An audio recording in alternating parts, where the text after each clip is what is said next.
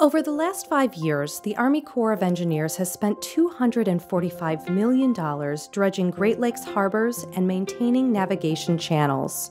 Investments like these ensure the safe flow of commerce at our ports. Great Lakes St. Lawrence Seaway System. Our supply chains work.